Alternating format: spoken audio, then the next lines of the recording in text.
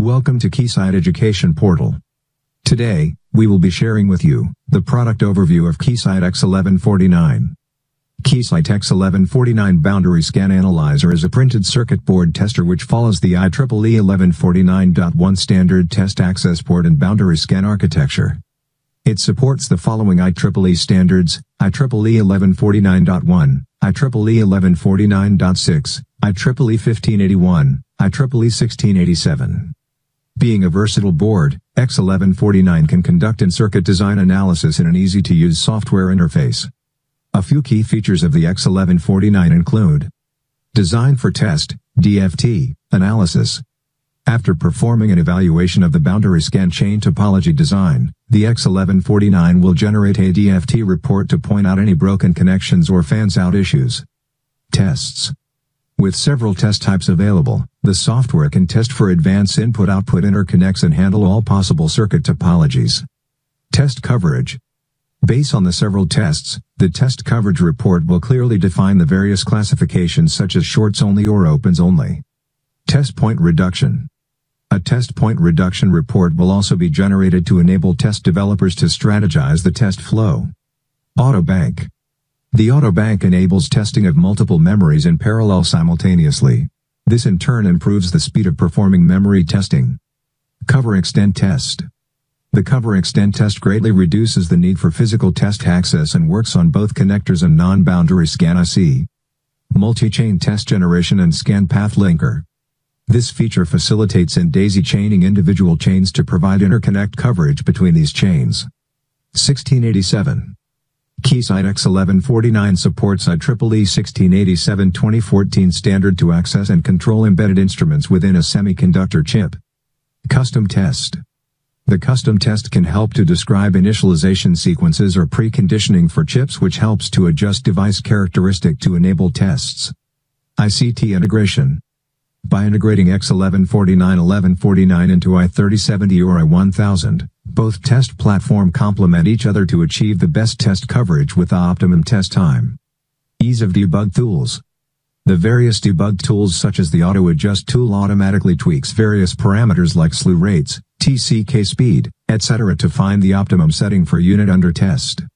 Now, let us explore the Keysight X1149 software. The X1149 software comes installed with three default login user IDs. The engineer. He or she has full access to the software and are mainly in charge of the development and debug. The operator he or she will focus on production and have access to launch and run of test programs. The admin, he or she can create additional logins and set their privileges for administration purposes. The three logins allow for separate access privileges into the different areas within the interface. To log in as engineer, select Development and Debug Application. For first-time user, the default password for engineer is X1149BSA1. The software will then prompt you for a change in password. Once password is changed, you need to re-log in with the new password.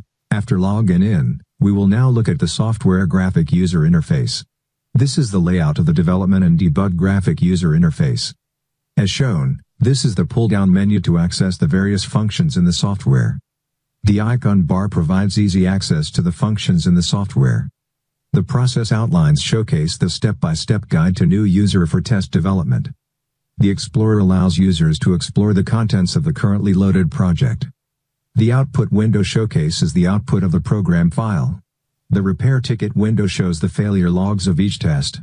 This provides simple and intuitive details on the failing nodes and what is the probable reason for the failure. Lastly, messages will state both warning and error messages for users referenced during project development or test generation. We will now go through a few buttons you will encounter when running tests. We will explore the five various buttons which can be seen at the top left side of this program. The Run button will run the test continuously even if it encounters a fail. The Run to Fail button will stop running the test once it encounters a fail. To ensure that the testing taking place is accurate and consistent, users can also set the number of times they wish to run for any test. As shown, this test will run for 25 times in this case. The Run with Debug tool will run test sequence in debug mode. It will skip when command faces error and stop when breakpoint is encountered. By executing the test sequence in debug mode, the execution will stop if a breakpoint is encountered. Clicking on it again will allow the test sequence to continue. Lastly, by pressing the stop button, this will stop the execution of the program. You are now ready to run the test as shown. As part of X1149 software, one can choose to dock or undock the windows. This enables users the flexibility to view or hide data when needed. By left-clicking and holding the Repair Ticket tab, drag it and move the mouse over the output panel. Depending on the arrow position, release the mouse button to your preference.